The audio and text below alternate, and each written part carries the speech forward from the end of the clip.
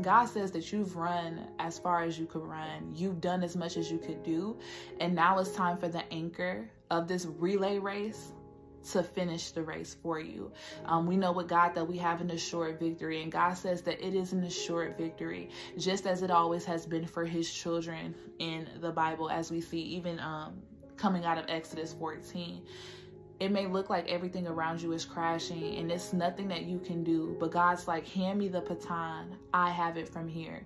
So today, will you take part in this prophetic exercise and literally just hand off the baton to God and trust that He is going to run this race and He is going to ensure that the victory is yours. For more information on the prophetic exercise, just click on the last slide.